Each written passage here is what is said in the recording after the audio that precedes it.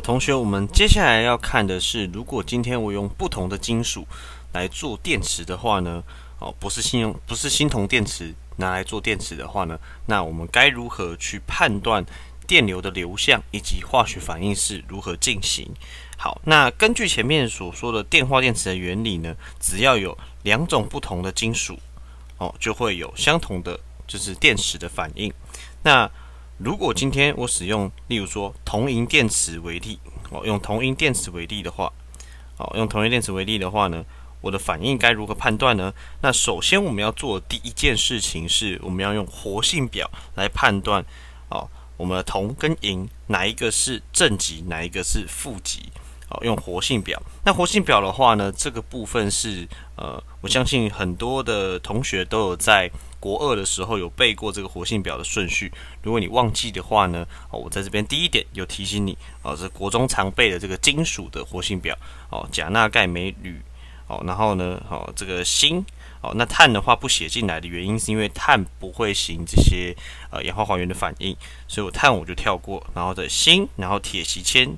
好，然后铜、汞、银、铂、金，哦，按照这样子的活性表的顺序呢，我们去判断哪一个是正极，哪一个是负极。好，那活性表拿出来之后呢，我们就知道活性大的呢，这个以前学过了，活性大的容易失去电子，它是负极。哦，那为什么是容易失去电子呢？是因为我们以前学过啦，这种活性大的东西呢，它容易易氧化。好，容易氧化。因为它活性大，容易氧化。我们前面又提过了，氧化就是失去电子，所以它容易失去电子。那它应该当做负极。好，那原因是因为呢，我们的电池对电池来说的话呢，它其实是我们画过这个符号，对不对？好，这边是负电，这边是正电。那对电池来说的话呢，电子是从负极跑出去的，对不对？所以呢，如果今天我有个电池，哦，长成这样子。那负极的地方应该是跑出去电子的地方，好，也就是说，我现在你现在看这个电这个电池，这个本身就是哦，我这边已经写好了，这边是正电，这边是负电，哦，所以这一整个这一整个大装置呢，事实上呢，我可以把它浓缩成这样子的符号而已，哦，就是这个呢，把它放大来看的话，它就是这一块东西。好，那所以你现在要把握的这个原则，活性大的容易进行氧化，那一样。如果是同样的原理的话呢，活性小的话呢，就容易还原，那它就会是变成得到电子的，然后它是正极，可以吗？得到电子它是正极，所以从这边就会判断，如果是铜银电池的话，因为铜比较活性比较大，因为铜先出现的，然后银在后面，有没有？所以铜的话呢，应该是偏负极的，银是正极。好，那这边的话呢，有同学可能在呃锌铜电池的时候呢，你会想说，诶，锌铜电池里面锌是负极，铜是正极。好，那在铜银电池中，反而铜是拿来当负极，好像怪怪的。那事实上是还好的。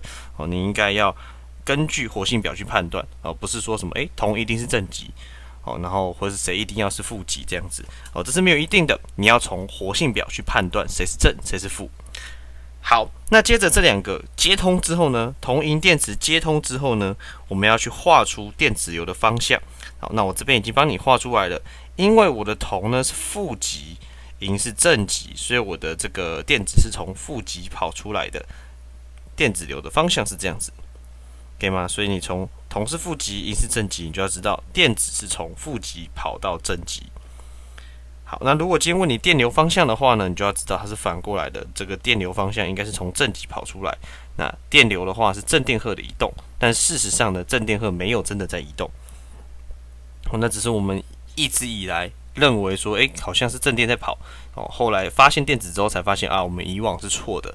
不过电流这个概念还是被流传了下来。我们还是日常生活中还是会谈到电流这件事情。不过实际上真的在移动的是电子的流动。好，那再来的话，第三件事情的话呢，我们要去写出两极的氧化还原半反应式哦，也就是说两极个别发生了什么样子的反应。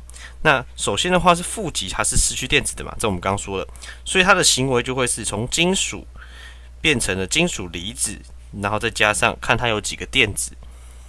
好，那所以以这边来说的话呢，我们的铜是负极，所以铜的话呢，它就会丢出电子，变成铜离子。铜离子是带两价的正电，因为它带两价正电，所以我需要丢出两颗的电子。这样子才能维持这个方反应方程式的左边是电中性的，右边也是电中性的，有没有？这个是正二，这边总共有负二。所以加起来是零，那这样才能维持电中性。所以呢，这个反应方程式是这样写的。那另外呢，正极的话呢，它是得到电子的，好，得到电子。那看得几个？那以我们的银来说的话呢，是银离子得到电子，银离子本身是正一价的。哦，这个价数的部分的话，也是各位过去可能有学过，或是稍微知道，呃，银本身是常带这个正一价的。好，那所以银呢，哦，按到来。银的话呢，它是平常是接收一个电子，然后还还原成这个银的金属，所以银是涨上去的。好，银离子原本是在充斥在这个这个溶液里面，然后呢，接着呢，它跑进去这个银这个这个银棒里面，会涨上去，所以银会变比较粗一点点，会变得比较重一点点。好，那第四个地方的话呢，我们需要根据上面这两个氧化还原的半反应式写出全反应式。那这个全反应式的写法就是把上下两个做电荷平衡，哦，电荷守恒，把电子数平衡掉，哦，也就是说你会发现这个反应呢，铜呢一次呢会丢出两颗电子，但是银一次呢只会接收一颗电子。那我丢两颗。你只收一颗这件事情呢是不行的。理论上，我丢两颗，你就要收掉两颗电子。所以呢，我们需要把它做一个平衡式。那这个平衡的方法的话呢，相信各位过去可能有学过，以及我前面有写过类似的式子。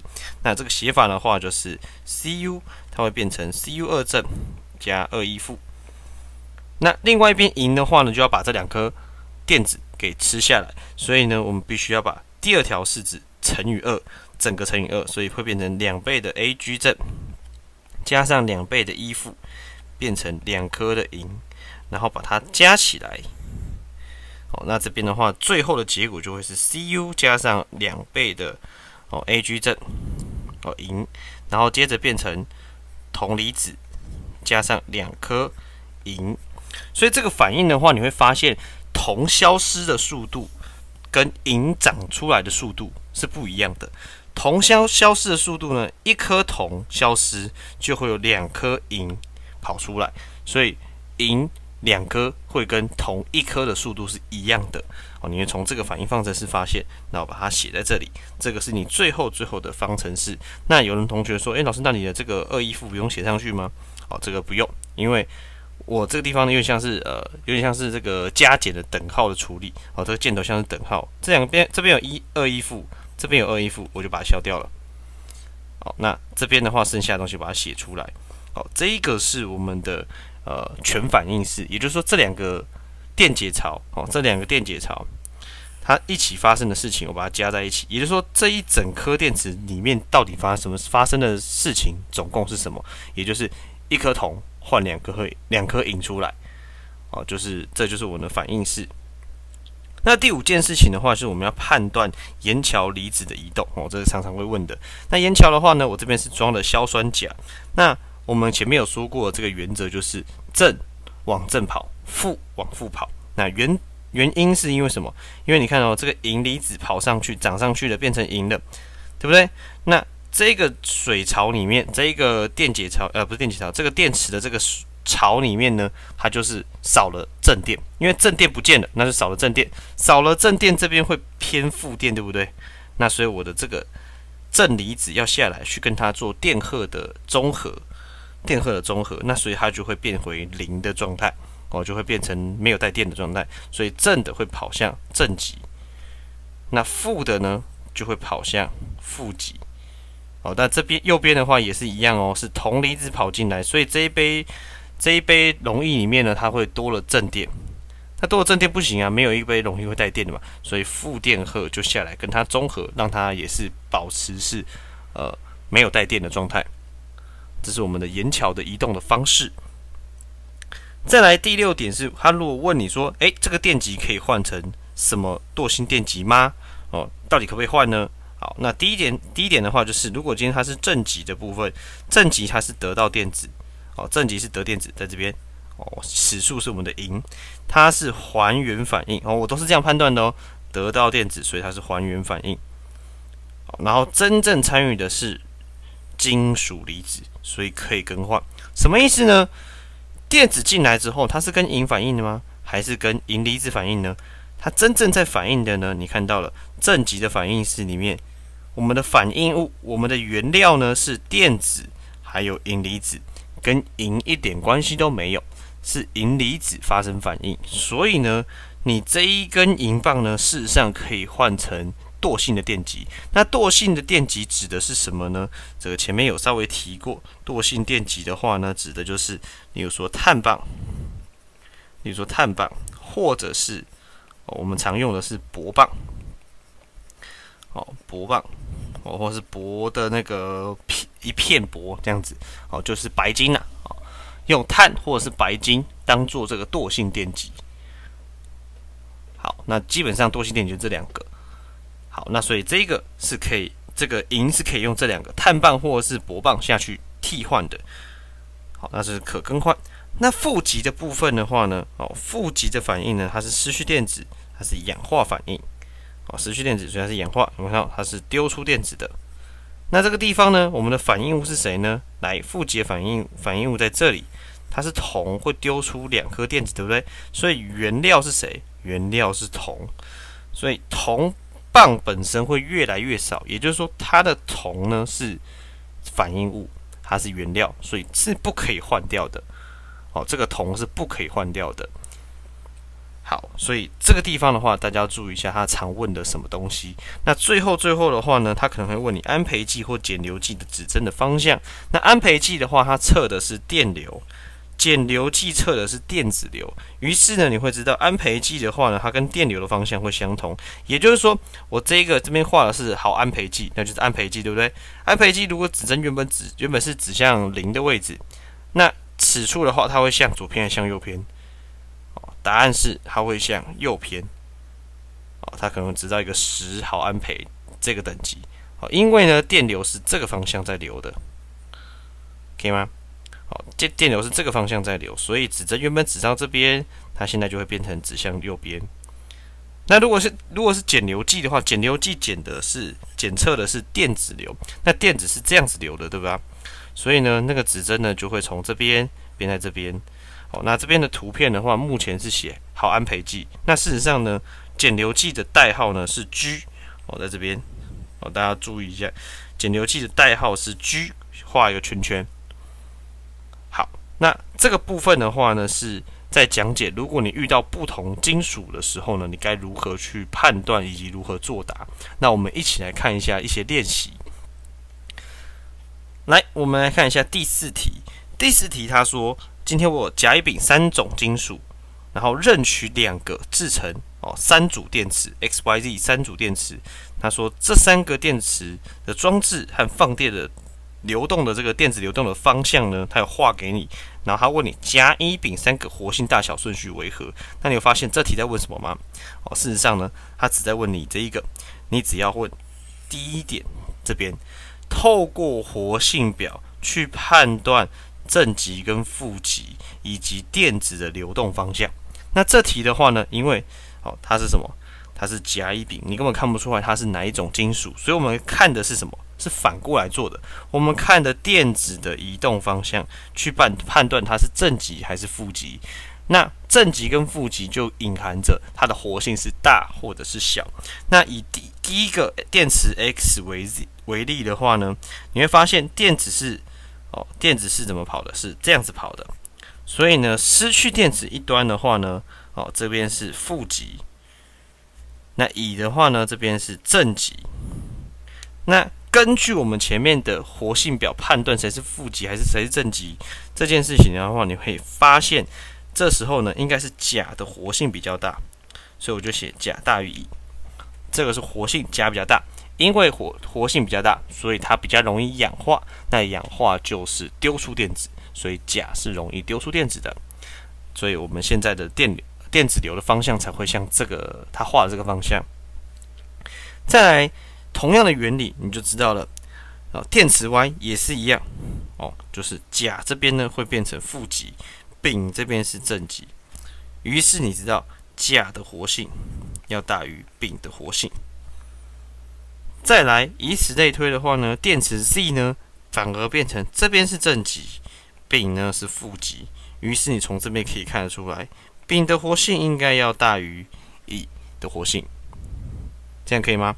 所以综上所述的话，你稍微整理一下看看的话，你就会发现，哦，甲是最大的，再来是谁？再来是丙，最后是乙，活性大小顺序就按照这个方向去写出来。所以这题的话呢，我们要选 C 选项。好，那接下来的话，我们来看一下例题五。例题五的部分的话是锌铜电池，好，那这地方的话就不是什么不同的金属，哦，这边就是纯粹是锌铜电池。那它用的东西呢，哦，是第一个锌铜电池。那右边这右边这个图二呢，反而是哦不知道什么金属。那所以这里的话呢，我们需要考虑两件事情。第一个是锌铜电池，它提醒你的，诶，我的减流计方向是朝，哦，你们看一下减流计方向，它是朝这边的。对吧？所以代表说电子流是这个方向在移动。所以这边的话，其实第一个提示，根据你刚刚的思考跟概念的话，其实第一个提示对你来说可能没有太大的用处。如果你前面都听得懂的话，因为它其实在提醒你电子是这样跑的，好，仅此而已。结果他问的是图二，图二他说电池哦的负极跟电子有流向是长这个样子，所以你知道减流计是向右偏嘛？所以呢，代表说我们的电子是。这样子流动的，对吧？好，那这样子你就可以判得出来，判断的出来，金属 X 跟金属 Y 谁是正极，谁是负极？哦，这样很容易的，金属 X 是负极，金属 Y 是正极，可以吗？所以这个叙述稍微看一下，他在问的第一个是谁是负极？有没有看到？他全部都问的是负极，但谁是负极？金属 X。所以你的 C 选项跟 D 选项可以先。删掉了，再来 A 跟 B 的话呢，剩下是什么？剩下是后面的叙述。那这这件事情的话，你不用看图也回答出来。电子应该从负极流出，不是从正极流出。这应该是你在前一章所学的概念，不是在这一个单元的东西，可以吗？所以这一题的话呢，直接给它 A 选下去就结束了。哦，这个是一百零五年的会考题目，非常的简单。好，那接着我们来看一下例题六的部分。例题六的话呢，是一个锌铜电池放电的情形。他说，哦，他说反应式他给你，哦，是锌加铜离子会变成锌离子加铜。然后他问你现在下面哪一个反应式跟锌铜电池放电的时候的反应式是一样的？那这个部分的话呢，我们就来看一下 A、B、C 组选项个别会执行什么样子的反应。好，那要跟锌铜电池一样哦。所以 A 选项我们来看一下。这一个是什么？这个是芯片直接放在铜，大家有印象这个东西吗？芯片直接放在铜里面会发会发生什么反应？好，因为呢，锌的活性会大于铜。哦，这个我写一下，这是活性的部分。因为活性的话呢是锌大于铜，所以锌比较锌比较喜欢什么？变成离子状态，它喜欢丢出这两个电子。然后铜的话呢，就会跟你铜离子的话呢，就会跟它接收这两个电子，变回铜。哎，那所以这一个全反应式，你把它加起来，你就会发现它是锌加铜离子变成锌离子加铜，对吧？所以这一个 A 选项其实就是答案，就是这么简单。好，那这里的话呢，其实事实上。大家还记得我们在讲锌铜电池之前，我们在讲什么？我把锌跟铜离子直接接触，反应物直接接触，事实上本来就会发生氧化还原反应。但这个会有个缺点是什么？我们没有办法把这个化学能转成电能，所以于是呢，我们才把装置放成锌铜电池那个样子，中间用一个盐桥，然后呢。接着上面用导线连接，这样子我才可以确保电子的移动是这个方向。在这个过程中，我可以放一颗灯泡，可以放一个灯泡，那灯泡有可能会亮，这样才可以用这个电。如果我直接接触的话呢，它会把能量直接转成热能，就散失掉了。好，所以 A 选项的话，这个东西虽然反应是一样，但是它不能作为电池的原因，就是因为它会直接反应掉，变成热。那我们再来把剩下的题目看看看完。好，那剩下的话呢，B、C、D 选项呢？好，B 选项，好，B 选项这个东西，它是什么样子的反应呢？首先的话呢，你要先知道稀硫酸它会跟谁反应？那稀硫酸的话呢，它会跟锌反应。哦，稀硫酸，它跟你可以写下来，稀硫酸，好，它是会呃，我这边先写不与哈，不与铜反应，它是不会跟铜反应的。哦，稀硫酸是不会跟铜反应，铜会跟谁反应呢？哦，这边可以稍微提一下，铜很多强酸都不怕，就算是浓硫酸来，它也不怕。浓盐酸来，它也不怕，但铜怕硝酸。哦，这边可以稍微提一下，铜呢，它只会和，哎，好，只会和硝酸反应，不论是稀的还是浓的。那如果你有稍微学过这个化学概念的话呢？铜跟稀硝酸呢，会形成一氧化氮，会跑出一氧化氮的气体。如果是浓硝酸呢，会跑出非常毒的二氧化氮的气体，哦，是红棕色的。哦，那如果你没学过的话，就当做呃一个额外的小知识听一听。那再来稀硫酸的话呢，它会跟哦稀硫酸，它会跟我们的锌反应，变成了硫酸锌的溶液。哦，这边的话是溶液，所以我写 AQ。AQ 是水溶液的意思，也就是说它其实是锌离子加硫酸根。然后呢，接着呢，它还会跑出我们的氢气。啊，氢气的话是气体，它会往上，所以它会有泡泡。这个冒的泡泡就是氢气。好，于是呢，你会发现 B 选项这一个反应式呢，事实上呢，哦，它不是跟锌铜电池一样的反应。哦，第一个铜不反应，然后再来呢，哦，稀硫呃稀硫酸跟我们的锌。会发生反应，跑出氢气跟产生了呃硫酸锌的水溶液。哦，那这个跟我们锌铜电池是不一样的。那接着再来是 C 选项，C 选项它是什么？把我们的铜跟锌放在硫酸锌。那这里的话呢，铜呢是不会，铜不会，哦，铜不会变成。它不会变成铜离子，哦，因为它活性小，因为铜活性比较小，它比锌还要小，所以，呃，比起铜变成铜离子，锌变成锌离子，锌比较喜欢，应该说这个反应的话，比较会趋向锌变成锌离子，但是此处你会发现，锌早就已经是离子状态了。哦所以呢，事实上呢，锌呢也不会变成锌离子，哦，后面就一样，它不会变成锌离子，哦，因为外面也是锌离子，没有人给它，没有人要接收它丢出来的电子，那就没办法了，那就没办法了，好，所以此处呢，你会发现，我们的锌跟铜都不会跟硫酸锌反应，因为里面本来就是锌离子的，可以吗？铜不会去。铜不会去那个，铜不会变成，它不会丢出电子，因为它本来外面的锌已经是丢掉电子的状态了。也就是说，呃，外面的这一个容易的状态的这个锌呢，已经是离子状态了，它没有办法再反应了。哦，那这个情况就是 C 就是不反应，C 完全不会有反应。那 D 选项的话呢，它把铜放在硫酸锌里面，那铜放硫酸锌的话呢，哦，这个就是跟 C 选项一样。哦，就是它不会反应掉。哦，就是它，它就是猪选项这一个，它就跟 C 选项这一只是一样的反应，就是它不反应。哦，因为外面已经是已经氧化过后的锌，氧化过后的锌就不会再跟铜反应的。好，那可是呢，锌会跟氧化过后的铜反应。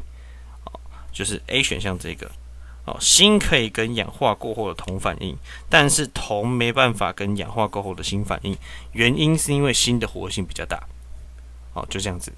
好，那以上的话呢，是在讲解这个呃不同金属的电池该如何判断跟如何做题的一个方法。好，那这个部分的话，我们就先到这边。待会呢，我们会来介绍生活上常常见到的一些电池的一些特性，还有一些反应。好，谢谢大家。